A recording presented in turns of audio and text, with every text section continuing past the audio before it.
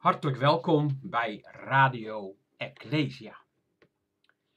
Ook deze keer heb ik weer een belangrijke Bijbelstudie of overdenking. Ik wil met u gaan behandelen een belangrijk onderwerp voor de dagen waarin wij leven.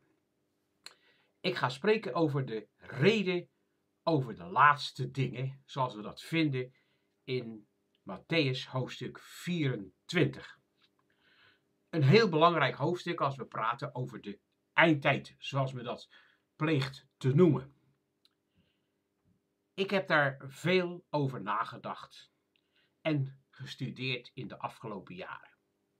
Ik heb al heel wat redenen gehoord over die laatste dingen. Hoe alles zal eindigen. Maar ik heb ook iets ontdekt.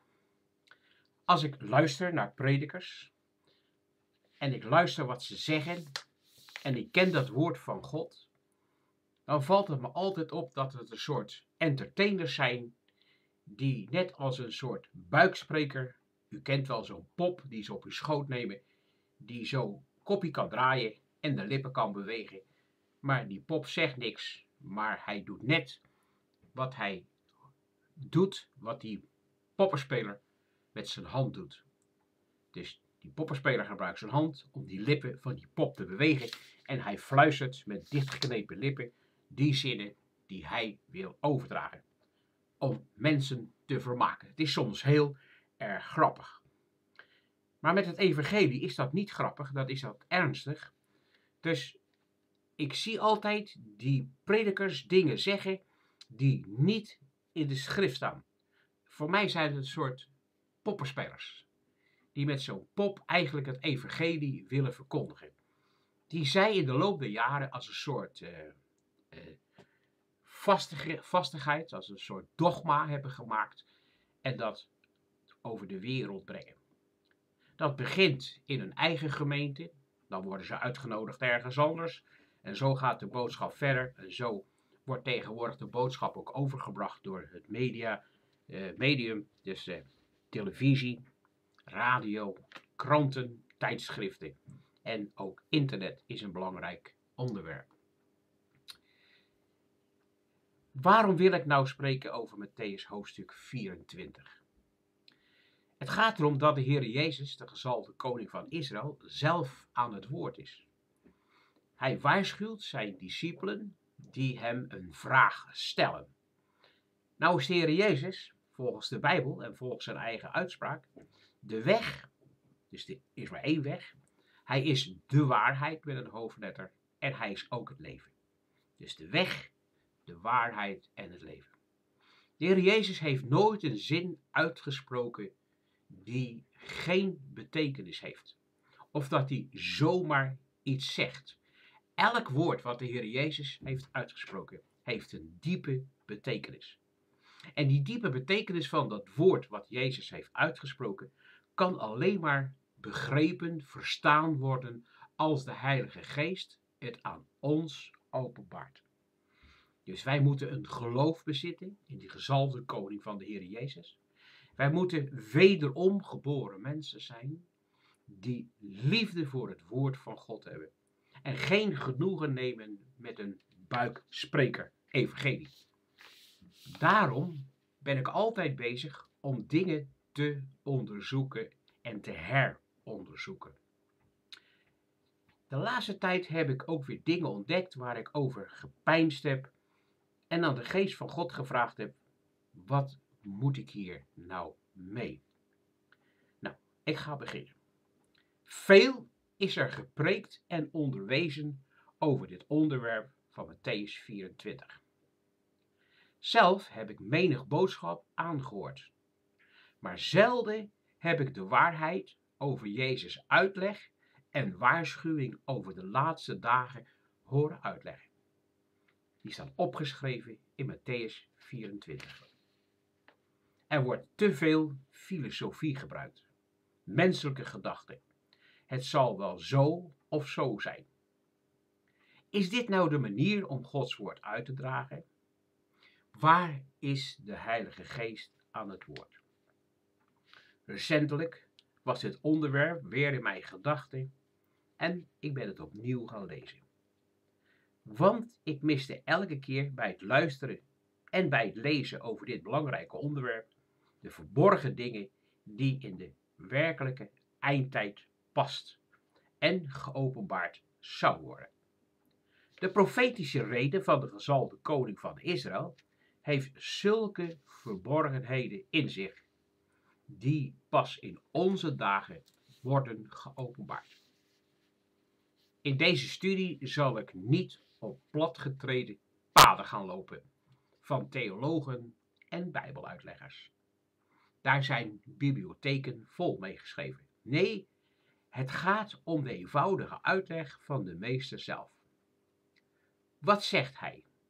Wat is nu de precieze inhoud van zijn woorden, waar men zo gemakkelijk overheen leest? Dat is ook mij overkomen.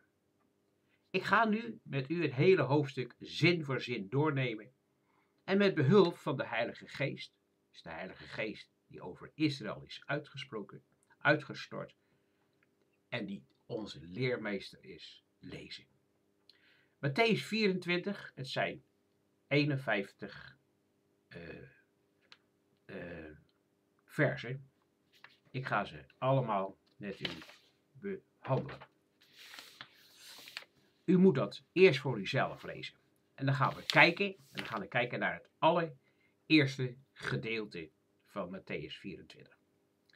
En Jezus ging de tempel uit en vertrok. En zijn discipelen kwamen tot hem om op het gebouw van de tempel te wijzen. En hij zei tot hen, ziet gij dit alles niet? Voorwaar, ik zeg u, er zal geen steen op de andere gelaten worden, die niet zal worden weggebroken. Toen hij op de olijfberg gezeten was, kwamen zijn discipelen allemaal tot hem en zeiden, zeg ons wanneer zal het geschieden en wat is het teken van uw komst en van de voleinding der wereld. Wat is het teken van uw komst en de voleinding van de wereld? In de eerste drie versen begint de gezalde koning van Israël om de nieuwsgierigheid van zijn discipelen op te wekken. En ze gingen vragen stellen. Dit moeten wij ook doen. Vragen stellen aan de Heilige Geest.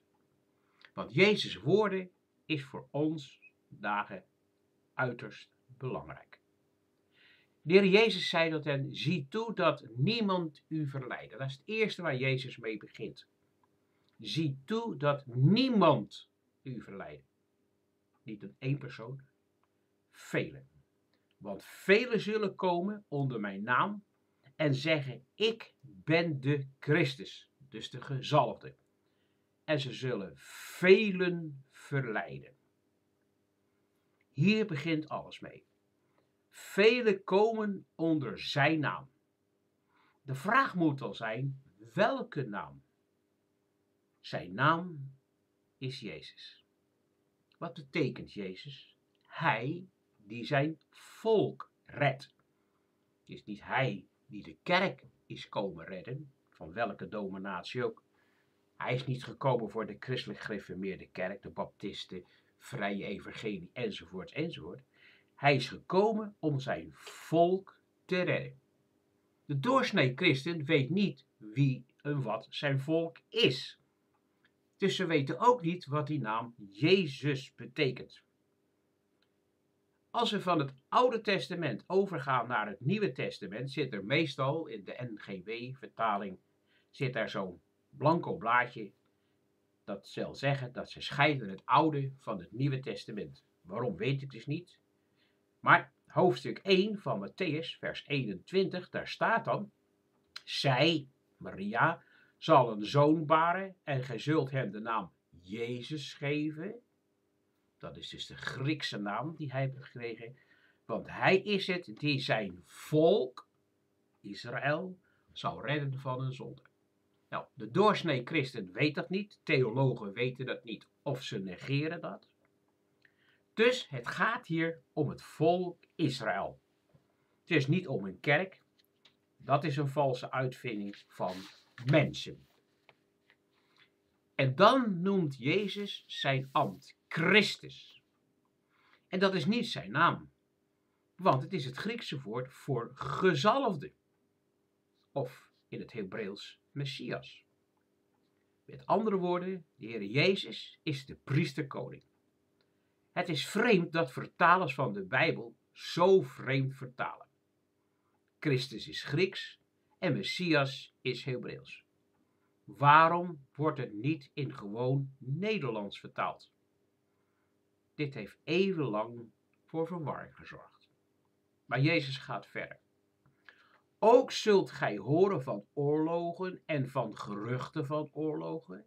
Zie toe, wees niet verontrust, want dat moet geschieden, maar het einde is er nog niet.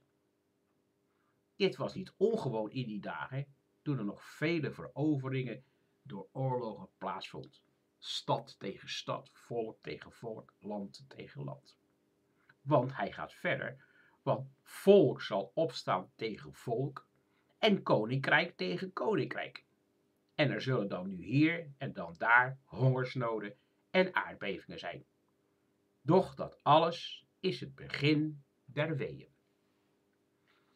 Dan zullen zij u overleveren aan verdrukking en ze zullen u doden en gij zult door alle volkeren gehaat worden om mijn naams wil. En dan zullen velen ten val komen. En ze zullen elkander overleveren en elkander haten. Dit is het eerste teken van het begin van het einde, oftewel de wederkomst van Jezus als koning. Er zijn vele valse profeten. Dan kan je zeggen dat zijn leraren en herders in kerken en gemeenten. Zij zullen opstaan en velen zullen zij verleiden.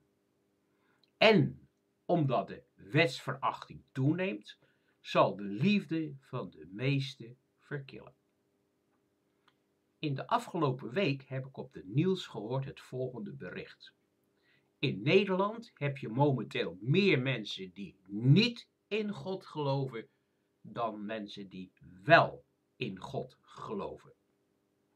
En als je nou naar de tekenen van de tijd kijkt naar ons eigen volk, want we hoeven niet eens naar de wereld te kijken, naar ons eigen volk, in onze eigen omgeving, in je eigen familie, in je eigen straat, in je eigen dorp of stad, zo kun je het dus uitbreiden, kun je zien dat de liefde van de meesten is verkild.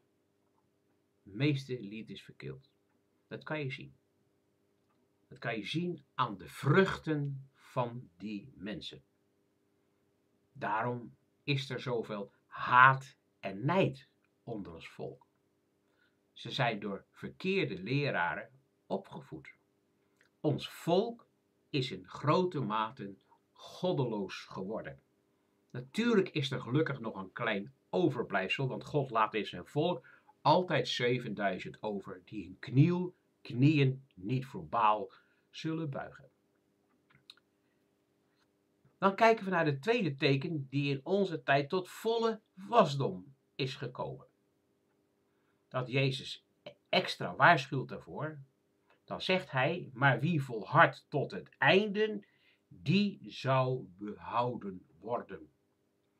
Dus elk mens die de Heer Jezus in zijn leven heeft aangenomen als zijn persoonlijke verlosser en zaligmaker, dus die wederom geboren is, die zich heeft laten dopen door onderdompeling en vervuld is met de Heilige Geest en op die smalle weg wandelt met die gezalde koning van Israël, krijgt van Jezus de waarschuwing dat je moet volharden tot het einde. Dat kan twee dingen betekenen. Dat je in je persoonlijk leven tot aan je dood moet volhouden om die Heer Jezus te volgen en zijn woord op de juiste, correcte manier moet uitdragen en van moet getuigen. Of dat de Heer Jezus in jou of mijn leven eerder terugkeert en dan moeten volharden tot aan zijn wederkomst. Dat bedoelt de Heer Jezus. Nu komt Jezus' belangrijkste profetie die volledig wordt miskend. En men kent niet de inhoud van Jezus' woorden.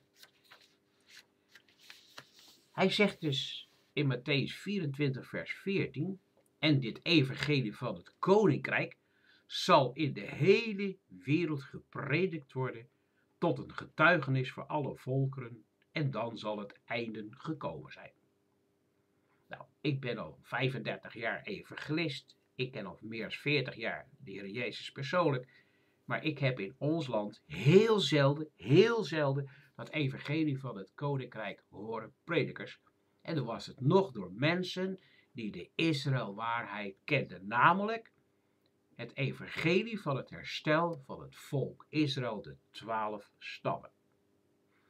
Dat zegt Jezus. De profeten, vanaf Mozes en de profeten, de psalmen, leren het volk Israël, en later door de Heer Jezus en de apostelen opnieuw uitgedragen, het herstel van het koninkrijk van God, wat verloren gegaan is door de zonden van het volk Israël. Hij gaat verder. Wanneer gij dan de gruwel der verwoesting waarvan de profeet Daniel gesproken is op de heilige plaats ziet staan, wie het leest, geven er acht op. Er is nog niemand geweest die deze opmerking goed heeft uitgelegd. Wel is er veel gespeculeerd en zijn niet tot de juiste conclusie gekomen. Dat de Heer Jezus nu zegt dat het evangelie van dat koninkrijk over de hele aarde wordt gepredikt tot een getuigenis, want wij zijn nou bezig zogenaamd om het evangelie naar alle volkeren te brengen en wij proberen volkeren te overtuigen om Jezus maar aan te nemen, wat hij helemaal niet heeft geboden om naar andere volken te gaan buiten Israël. En het heeft geleid tot niets. Want overal waar die zendelingen vandaan trekken, stort al hun werk in elkaar en het wordt weer tot niets.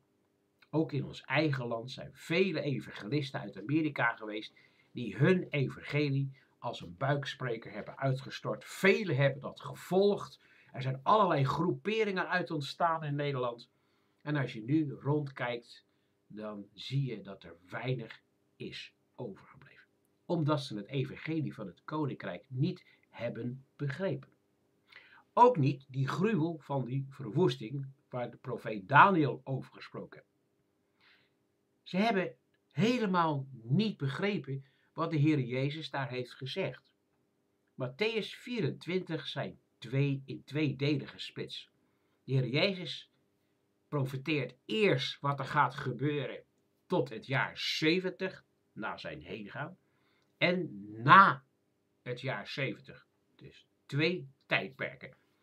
We gaan eerst eens kijken naar het eerste tijdperk. Want hij waarschuwt dus zijn discipelen en de mensen aan wie zij dat evangelie van het koninkrijk gaan preken, wat er binnenkort in hun dagen zal gaan gebeuren. Hij zegt, laten dan wie in Judea zijn, vluchten naar de bergen. Dus Judea. Dan moet je weten dat het koninkrijk van God in twee delen gesplitst is. In het tienstammenrijk en het tweestammenrijk. In 721 is die tienstammenrijk weggevoerd door, naar Assyrië vanwege hun zonde. Dus die waren dus niet in het land Canaan. Alleen het rijk van Juda, die twee stammen, waren daar. Maar die waren al in de tijd van Jezus heel erg vermengd met andere elementen buiten Juda, namelijk uit de stam Ezo en Amalek. Nou, daar heeft de Heer Jezus heel veel mee te stellen gehad met die valse Joden. Want Jezus heeft nergens zijn volk Joden genoemd, maar wel Judeërs. En die apostelen, dat moet ook gezegd worden, waren geen Judeërs, waren wel van het huis van Juda, maar die waren eigenlijk Galileërs uit de stam Benjamin, waaruit de Heer Jezus zijn discipelen heeft gekozen. Dus Benjamin was wel aan Juda toegevoegd, maar behoorde eigenlijk tot die tien stammen. Wie weet dat nog vandaag? Daarom zegt hij, wie op het dak is, gaat niet naar beneden om zijn huisraad mede te nemen. En wie in het veld is, keert niet terug om zijn kleed mee te nemen. Wee de zwangeren en de zogen in die dagen. Bid dat die vlucht niet in de winter vallen en niet op een sabbat. Want er zal al een grote verdrukking zijn, zoals er niet geweest is van het begin de wereld tot nu toe. En ook nooit meer wezen zal. En in die dagen niet ingekort werden, zou geen vlees behouden worden. toch ter wille van de uitverkorenen zullen die dagen worden ingekort. Hier zie je dat Jezus zegt, er komt een dag dat jullie, Juda, Joden, zullen worden overvallen. Dat is ook gebeurd. Keizer Titus, een Romeinse keizer, heerser, die kwam in een leger naar Jeruzalem. En hij heeft Jeruzalem volledig plat gebrand. Dat zegt hij dus ook. En dat zegt Jezus waar hij voor waarschuwt. Dus die mensen moesten uitkijken naar die gruwel der verwoesting. Dat is niet die tempel die zogenaamd herbouwd wordt. Maar het waren de vaandels van het Romeinse leger die op een afstand gezien kon worden. Als het Romeinse leger, leger in opmars was, hadden ze allerlei fanen en vlaggen die je van verre kon zien. En op die vlaggen stonden de afbeelding van de draken die de Romeinen gebruikten en andere symbolen. Dat is voor God een gruwel. Als ze dat zagen, dan wisten ze dat hun stad omsingeld was. Dan moesten zij vluchten. Dat is ook gebeurd. Er zijn velen hebben dat gezien, zijn gevlucht. Maar velen zijn omgekomen omdat die stad door Titus werd ingenomen. En velen zijn vermoord en de tempel is vernietigd totdat er geen steen op de andere schoot. Dit gebeurde in 70 na Christus. Dus dat was het eerste gedeelte van Matthäus 24. Maar nu komen we in de 200 jaar, in de komende 200, 2000 jaar, is het volgende gebeurd. En dat wordt beëindigd met een climax in onze dagen.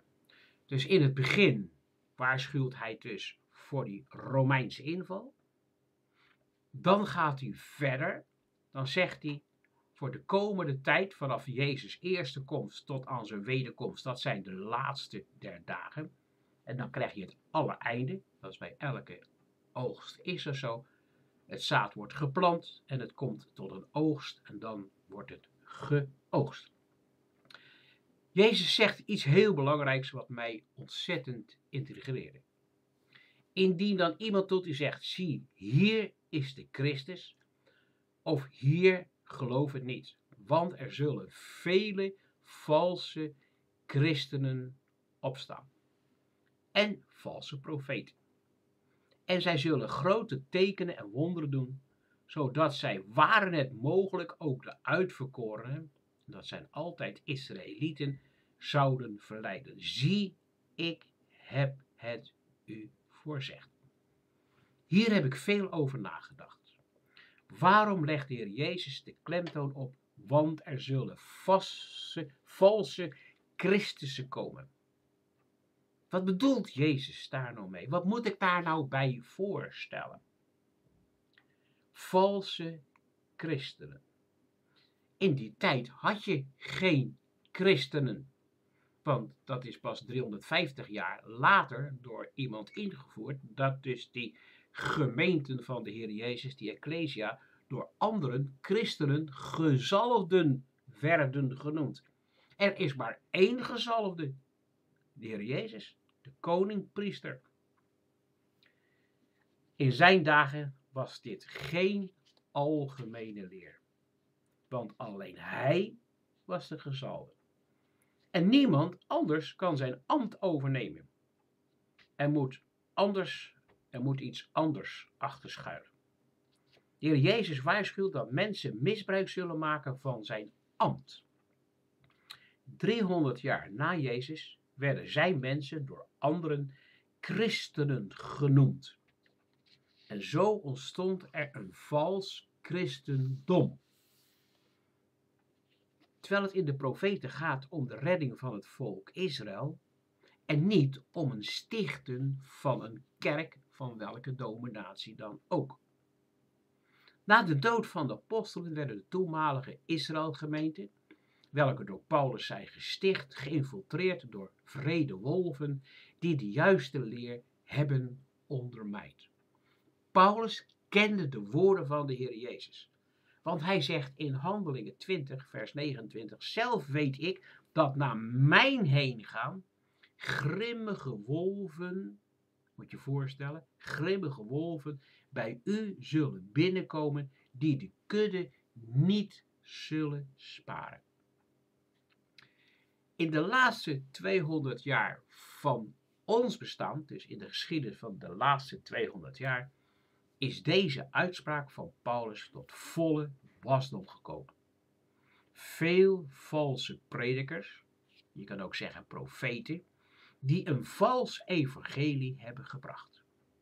De Rooms-Katholieke Kerk is daar een goed voorbeeld van. Die later, na de Reformatie, werd aangevuld door sterk onderling, sterk verdeelde protestante kerken.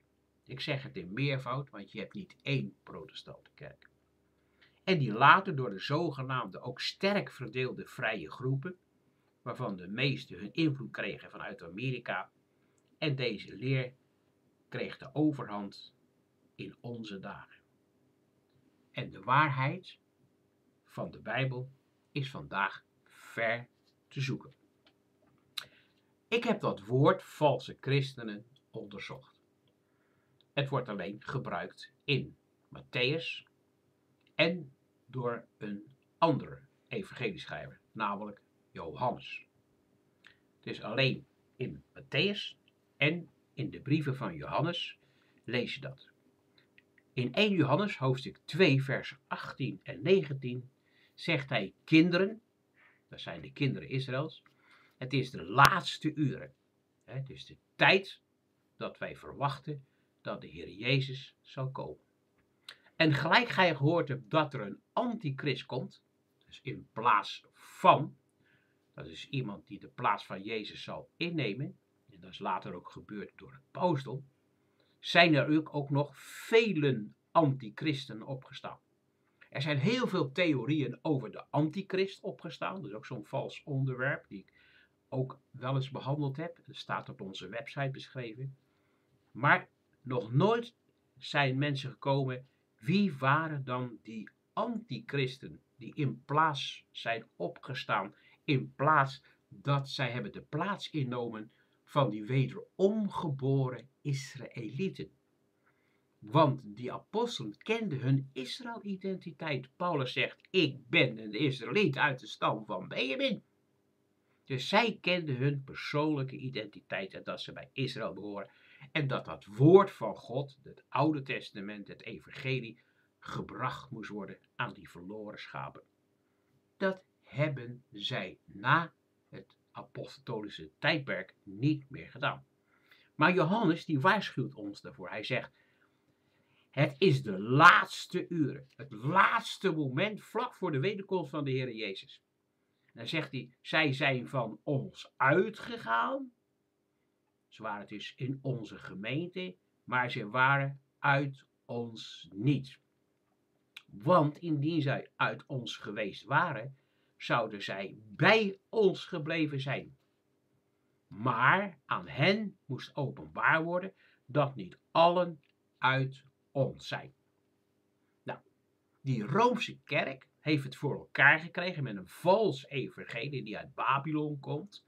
Heeft vele mensen in die kerk die ze gesticht hebben als algemeen christelijke kerk in opgenomen. Van allerlei signatuur, kleur en noem maar op overal vandaan. Nou, die waren dan onder ons en die zijn er weer uitgegaan. Ze zijn uit elkaar gespat in allerlei kerkelijke dominaties. Want ze waren niet van ons. Ze waren niet van Israël. Dat zie je vandaag de dag ook in ons land. We hebben zo'n beetje 191 nationaliteiten in ons land. Ze hebben allemaal zogenaamde Nederlandse nationaliteit. Maar ze zijn niet van ons. Want je hebt geen Nederlandse Turken, Italianen, Chinezen. Die heb je dus niet. Je hebt geen Nederlandse Marokkanen, Surinamers. Die heb je dus niet. Maar ze hebben wel een Nederlands paspoort.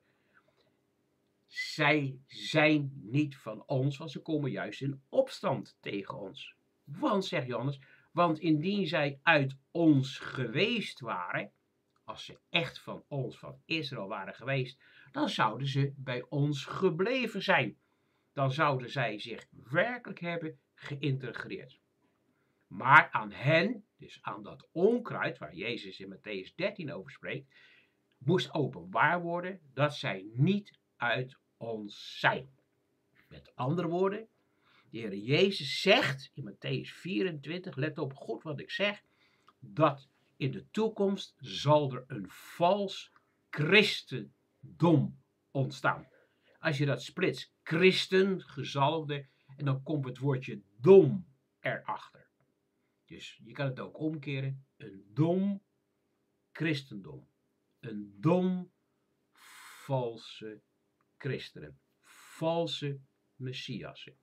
Valse christenen. Want vele valse gezalden komen die onder zijn naam opereren. Waar de apostel Paulus ook voor heeft gewaarschuwd. Kijk, de Bijbelstudie is dat je diep moet graven in wat er staat geschreven. En dankzij de Heilige Geest, want is niet mijn verdienste, dankzij goede leraren die ik heb gehad en nog heb, en door de hulp van de Heilige Geest die op de eerste plaats komt, heb ik die woorden van de apostel Paulus begrepen. En die zijn diep in mijn ziel verankerd, omdat dat mij iets heeft geopenbaard waar ik erg van geschrokken ben. In 2 Korinthe 11 vers 4, want Paulus zegt, hij was dus een apostel die speciaal op de weg van die verloren schapen was gezet door de Heer Jezus zelf. Want in, indien de eerste, de beste, een andere Jezus predikt. Toen schrok ik al. Een andere Jezus. Dan zegt hij, die wij niet hebben gepredikt. Let op, als dat gebeurt, dat er een prediker komt die een andere Jezus predikt. Een Jezus zonder volk Israël. Een Jezus die alle volkeren zou omarmen. Met dat evangelie wat zij verkondigen. Dan zegt hij, of gij een andere geest ontvangt. Die gij niet hebt ontvangen. Of een ander evangelie dat gij niet hebt aangenomen. Dan verdraagt gij dat zeer wel. Deze ernstige waarschuwing ligt vast in Jezus' woorden in Matthäus 24. Dus er komen predikers die dat evangelie waar Jezus voor waarschuwt verdraaien, een algemene christelijke kerk hebben geformeerd. De Roomse kerk heeft 1260 jaar in haar bestaansgeschiedenis op een zeer vrede wijze geregeerd. 50 miljoen christenen zijn omgekomen. En met deze kerk associeert de huidige protestantenkerk zich weer net zo makkelijk als dat ze vroeger daarbij van losgebroken zijn. Kijk maar naar de EO. Er is altijd wel weer een of andere pater of priester of bisschop die weer een podium krijgt op de televisie om zijn zegje te kunnen doen. Dus die andere Jezus, die wordt gebracht. De mens die daar naar luistert krijgt een andere geest en die denkt bij zichzelf, ik heb Jezus ontvangen, ik ga dat evangelie, dat valse evangelie uitdragen en zo is dat valse christendom ontstaan. Dit is wat Jezus in Matthäus 24 heeft gezegd, waar hij ons voor heeft gewaarschuwd. Maar wij hebben het niet begrepen. We gaan dan verder. Jezus zegt, indien men dan tot u zegt, zie hij is in de woestijn, Gaat er niet heen. Hij is in uw binnenkamer. Geloof het niet.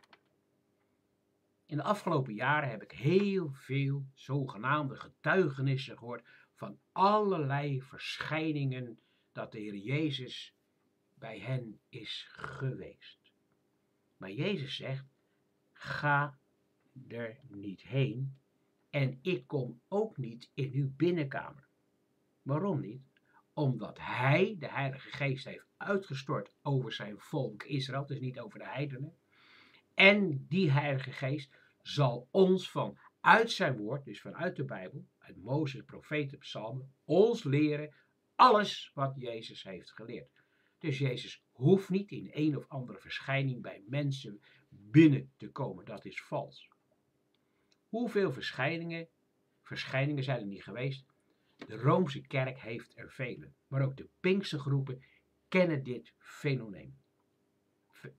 Nou, dan gaan we kijken naar de echte wederkomst van de Heer Jezus. Hij komt als de gezalde koning van Israël.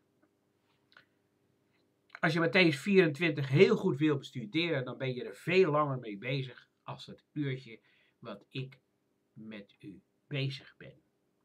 Want gelijk de bliksem komt van het oosten en licht tot het westen, Zo zal de komst van de Zoon des Mensen zijn. Waar het aas is, daar zullen de gieren zich verzamelen. Terstond na de verdrukking dier dagen zal de zon verduisterd worden en de maan zal haar glans niet geven en de sterren zullen van de hemel vallen en de machten der hemelen zullen wankelen. En dan zal het teken van de zoon des mensen verschijnen aan de hemel. Dan zullen alle stammen der aarde zich op de borst slaan. En zij zullen de zoon des mensen zien komen op de wolken des hemels. Met grote macht en heerlijkheid. Dat is de eerste keer dat Israël haar koning zal zien. Dus niet nu. En hij zal zijn engelen uitzenden met luid bazuingeschal en zij zullen zijn uitverkoren, dus altijd Israël, verzamelen uit de vier windstreken van de uiterste der hemelen tot de andere. Hij zal die verstrooide stammen bij elkaar brengen. Leer dan van de vijgenboom deze les. Wanneer zijn hout reeds week wordt en de bladeren doet uitspruiten, weet gij daarom dat de zomer nabij is. Zo moet ook gij, wanneer gij dit alles ziet, weten dat het nabij is voor de deur. Voorwaar ik zeg u, dit geslacht, en velen hebben gedacht dat is 40 jaar, dat is niet wat Jezus bedoelde, het geslacht van Adam. Vanaf Adamse tijd tot aan de wederkomst van de Heer Jezus. Dat geslacht. Dit zal geen zins voorbij gaan voordat het alles geschiet. De hemel en de aarde zullen voorbij gaan. Maar mijn woorden zullen geen zins voorbij gaan. Doch van die dag en van de uren weet niemand. En wat hebben ze gespeculeerd? Dat jaar, dit jaar, zus en zo. Er zijn allerlei groepen uit ontstaan. Die eindtijdgroepen. Jehovah's getuigen, zevende dag adventisten en vandaag aan de dag heb je er nog veel meer. Doch van die dag en uur weet niemand, ook de engelen der hemelen niet. Dus er kan nooit een engel komen en zeggen zo en zo. Ook de zoon niet, maar de vader alleen. Want zoals het was in de dagen van Noach, zo zal de zoon dus mensen, de komst van de zoon des mensen zijn. Dus zoals het in de dagen van Noach was, als je die dagen bestudeert en je vergelijkt ze bij onze dagen, dan zie je dat er zelden zonde op een verschrikkelijke manier aan het herhalen is. Homofilie is de grootste zonde in de dagen van Noach. Een verbastering van het volk Israël is de tweede grote zonde. Want zoals zij in de dagen van de zonsvloed waren eten en drinkende, huwen en ten huwelijk gevende, tot op de dag waarop Noach in de ark ging. En zij niets bewerkte eer de zonvloed kwam en hen alle wegnam. Zo zal ook de komst van de zoon des mensen zijn.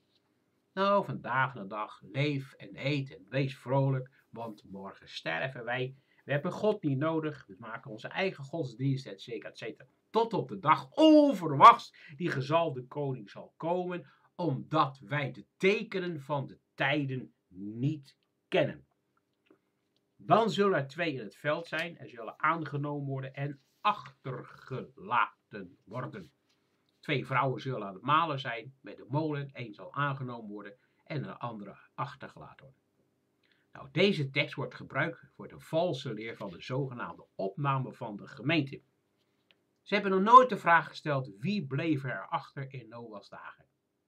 Zij die verdronken. Die hele opnametheorie is vals. Jezus zegt, waak dan, want gij weet niet op welke dag uw Heer komt. Maar weet dit, als de Heer des huizen geweten had in welke nachtwagen de dief zou komen, hij zal gewaakt hebben en in zijn huis niet hebben laten inbreken. Daarom wees ook gij bereid, want om een uur dat gij het niet verwacht, Nederlandse volk, komt de zoon des mensen. Wie is dan die trouwe en verstandige slaaf die de Heer over zijn dienstvolk gesteld heeft om hun op een tijd voedsel te geven? Zalig die slaaf die zijn Heer bij zijn komst zo bezig zal vinden, voorwaar ik zeg u, dat hij hem over al zijn bezit zal stellen. Maar als die slaaf slecht was en in zijn hart zou zeggen: Mijn heer blijft uit. En hij begint zijn medeslaven te slaan, wat vandaag de dag op vele wijzen gebeurt. En met dronkaart zou eten en drinken. Dan kijk maar naar die grote feesten waar mensen niet alleen drinken en eten, maar ook spuiten met allerlei rotzooi. Dan zal de heer van die slaaf komen op een dag dat hij het niet verwacht en op een uur dat hij het niet weet. En hij zal hem folteren en hem in het lot der huigelaars doen delen. Daar zal het geween zijn en het tandergeknars. Wij als Nederlandse volk zijn op vele fronten gewaarschuwd door de gezalde koning en door zijn apostelen en juiste evangelisten. Hun raad en hun waarschuwingen zijn in de wind geslagen met alle gevolgen van dien. Grote afval is het gevolg onder onze volksgenoten. De kern van mijn betoog is dat de Heer Jezus heeft gewaarschuwd dat er een vals christendom zal ontstaan die wij nu kennen. Ik zie dat ik nog tijd over heb.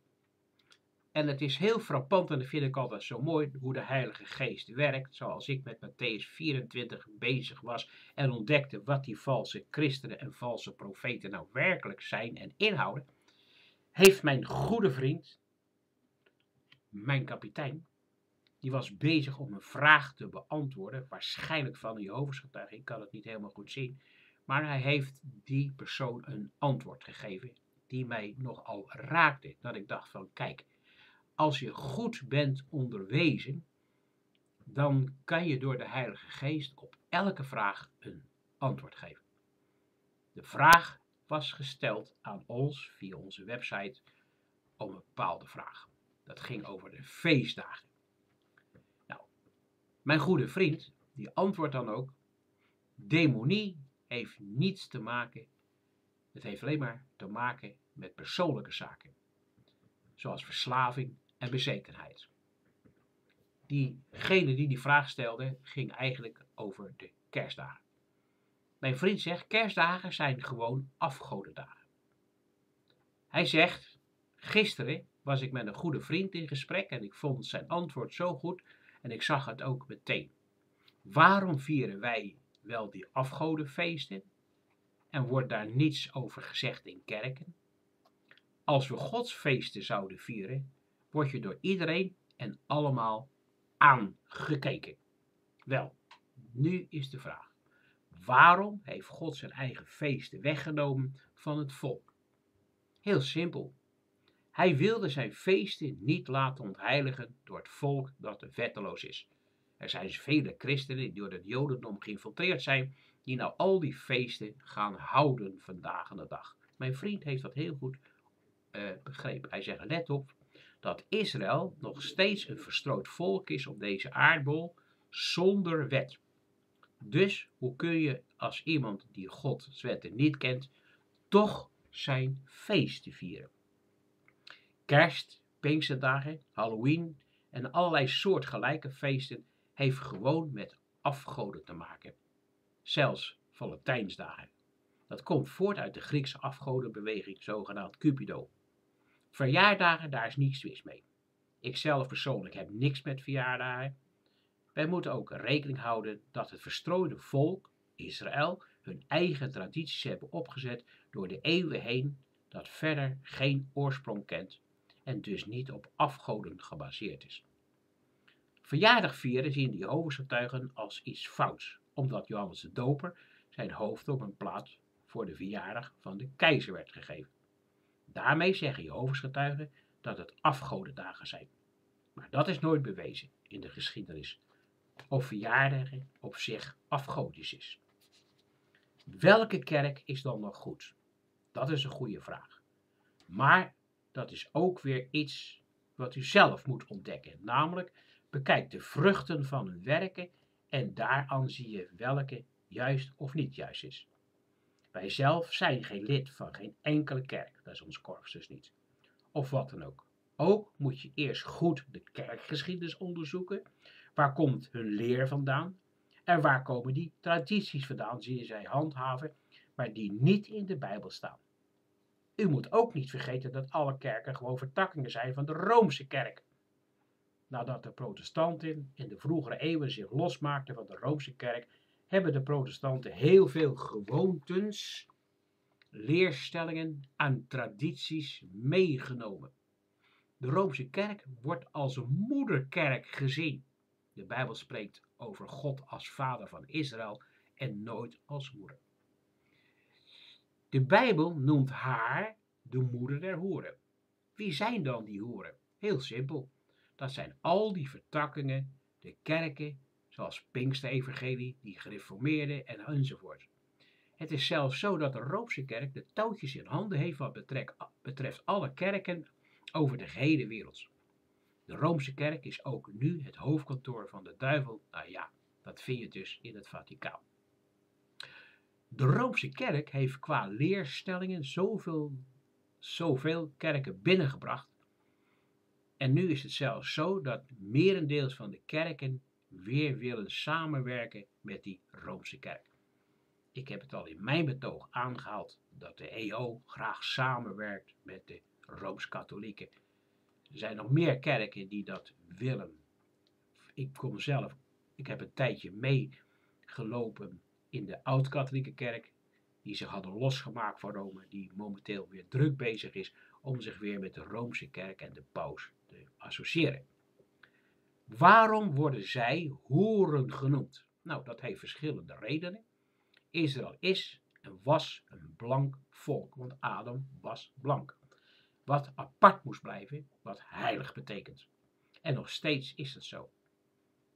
Dat is geen haat, maar een gebod. God heeft tegen Israël gezegd: Gij zijt een heilig volk. Maar wat doet het volk? Waar de Roomse kerk vooral goed in is, is alle volkeren bij elkaar te brengen. Door alles met elkaar te mixen en in één kerk te zetten. Ik heb het ook in mijn betoog al aangehaald. Je blijven horeren heeft in de Bijbel twee betekenissen. Rassenvermenging en overspel van man of vrouw die getrouwd zijn. Wanneer je vreemde volkeren in de kerk neemt, neem je automatisch ook een afgode mee. In Zuid-Afrika is het bewezen dat die Zulus eerst staan te hossen en te springen voor God en later springen ze voor hun eigen goden. Je ziet, het werkt niet. En zo is het ook niet bedoeld. De diensten van Israël waren geheel anders dan het kerkjespelen van de laatste eeuwen. Daar mochten maar een aantal van mensen van het eigen volk bijeenkomen. Tevens de Roomse kerk heult met andere godsdiensten zoals moslims, Chinezen en Indianen en willen alle godsdiensten één maken. Wat ik van de week ook weer van een predikant hoorde. Die zei, we moeten niet één in God zijn, maar één met elkaar. We moeten allemaal rond de tafel gaan zitten. Dan denk ik, man, waar haal je dat dan vandaan? Nou, de Bijbel verbiedt dat. Daarom wordt de Roomse kerk de moeder der hoeren genoemd. Jehovah's getuigen zijn ook niet meer dan een vertakking van al die Roomse kerken. Wel hebben zij goede dingen, zoals het niet vieren van de heidense feesten en een intentie daarachter is anders dan die van ons. Zij doen het voor een eigen God met een kleine letter Jehovah. Jehovah is maar een vertaling en meer niet. Hun intentie is om zo goed mogelijk te leven, terwijl de Bijbel zegt: als je één wet overtreedt, dan heb je alles overtreden. Het gaat niet om goed wezen of volmaakt wezen. Het gaat erom of je gehoorzaam wil wezen. Gehoorzaam wil wezen en perfect wezen, daar zit verschil in. Een kind is niet perfect en zal altijd fouten maken, wordt op de vingers getikt en doet het weer en zo wordt het kind grootgebracht. Hoe ouder dat kind wordt, hoe minder fouten zij gaan maken. En hoe verstandig dat zij met fouten omgaan. Zo is het ook met God. Je maakt fouten, je bent fout bezig, maar je intentie om gehoorzaam te wezen was er wel bij. En dat is het verschil. Gehoorzaam wezen en nooit geen fouten weer maken. Dat lukt niemand. Daarvoor is Jezus gekomen om voor ons de wet te vervullen, wat Israël niet kon. En wij kunnen dat dus ook niet. Maar in Christus kunnen wij dat wel. Dat heet dus genade. Om God te volgen is wedergeboorte bekering. Wat terugkeren betekent naar de wet betekent. De doop, de onderdompeling. En als laatste de doop met de Heilige Geest. Daar begint alles mee. In het begin dat je gedoopt bent, zul je het als iets bijzonders ervaren, alsof er iets is veranderd. En je voelt en je wordt blijer. Maar vergeet niet dat bekering ook gevolgen met zich meebrengt, namelijk veel strijd. Mensen zullen je aankijken, aanvallen en zullen het veranderen van jouw leven als iets kwaads zien. Zij voelen zich gekwetst omdat je ergens niet meer aan mee wilt doen en, je wordt, en wordt jouw schuldgevoel en jou wordt een schuldgevoel aangepraat, waardoor je snel begint te twijfelen. Dat is het nadeel ervan. Maar Jezus zegt het immers, berekent de kosten als je mij wil volgen. Dus het kost wat, namelijk je leven. Mijn vriend zegt, ik had vele kerkvrienden die ik nu allemaal kwijt ben geraakt. Achteraf is het beter, want zij brengen een andere leer en willen jou daarvan overtuigen. De Bijbel zegt je dat je met, dat soort mensen moet kappen, zoals zij je geen andere leer kunnen bijbrengen. Om de waarheid te kunnen onderzoeken, zul je zelf de Bijbel moeten gaan onderzoeken. De Heilige Geest leidt je tot de waarheid. Hij komt het je dus niet brengen. Je moet er zelf moeite voor doen. Alleen de Bijbel, zo wat oppervlakkig lezen, zal niet helpen. Daarom dat er duidelijk staat: onderzoek alle dingen en je moet daarom moeite voor doen om het zelf te onderzoeken. Vele mensen in kerken lezen vaak andermans zogenaamd christelijke boeken en daar leggen zij de Bijbel ernaast. Met andere woorden, zij leren zichzelf een verkeerde leer aan. Je moet de Bijbel niet naast die leesboeken neerzetten. Je moet de Bijbel zelf onderzoeken. Al zo lief heeft God de wereld gehad. Mensen lezen het en menen het meteen aan zonder te onderzoeken wat er werkelijk staat en of er andere tekst er niet mee te maken hebben. De kerk op zich is geen waarheid, maar de Bijbel. Nogmaals, de kerk wordt uitgebeeld als een hoer op het beest en een beest is een systeem, een soort samenleving. Europa is een systeem. Welke hoererende godsdienst zit erop? De Roomse kerk. In de vroege eeuwen heeft de Roomse kerk, ik heb het ook in mijn betoog aangehaald, 50 miljoen mensen omgebracht. Van de week hoorde ik nog het aantal naar 100 miljoen is gezet. Zoveel mensen zijn er omgebracht om hun geloof in de Messias van Israël en de profeten van de Bijbel en niet in de Roomse kerk. Deze woorden van de Roomse kerk wordt ook wel genoemd de Roomse Inquisitie. Op YouTube staan er veel documentaires over deze inquisities. Er staat ook duidelijk geschreven dat je de waarheid niet moet zoeken bij anderen, maar in de Heilige Schrift. Mensen zoeken kerk op. Ze willen een dominee die alles hun voorkoudt. Dat is niet wat de Bijbel zegt. Wil je de waarheid? Je zult het zelf moeten gaan ontdekken en onderzoeken en overpijzen. En hij eindigt, als u nog vragen hebt, stuur ons gerust een berichtje. Wat ben ik blij dat mijn goede vriend dit heeft geschreven, geschreven als antwoord. Hij is zo'n beetje vier jaar bij ons korps. En hij is een uitstekende leraar, leerling geweest, waar ik heel erg trots op ben. Omdat je na vier jaar zo'n moeilijke materie als Mozes, Psalmen, de profeten, zo kan uitleggen aan iemand die jou een vraag stelt. Daarvoor past het mooi met mijn overpijzing over de reden van de laatste dingen. Als je Matthäus 24 nog eens heel aandachtig doorleest en dan de Heer Jezus vraagt dat Hij met zijn geest in je komt om die dingen uit te leggen, dan zul je elke regel woord voor woord gaan begrijpen. Hij zal je leiden naar die studies in het Oude Testament door de profeten om de eindtijd goed te begrijpen. Ik heb begrepen dat de Heer Jezus heeft gezegd, er, zullen een, er zal een vals christendom ontstaan. Zij zullen niet alleen mijn naam ontheiligen, maar ook mijn ambt te grabbel gooien. En dat heeft de Roomse kerk, die de hoer is, zoals mijn vriend heeft geschreven, waar hij volledig gelijk in heeft, met al die hoerenkerken die zich nu aan hem verbinden. Het zijn harde woorden, ik weet het. Maar Jezus zegt, ik ben de weg, ik ben de waarheid en het leven. Daarom is het mijn taak als evangelist om die Jezus, die waarheid, die weg en die leven aan mijn volksgenoten te verkondigen. Dit is mijn dagelijks gebed, dat de God van Abraham, Isaac en Jacob u zal brengen op de weg van die gezalfde koning. En ik ben dankbaar dat ik de, de mogelijkheid heb gekregen om via Radio Ecclesia deze prachtige boodschap te mogen uitzenden in Jezus' naam. Amen.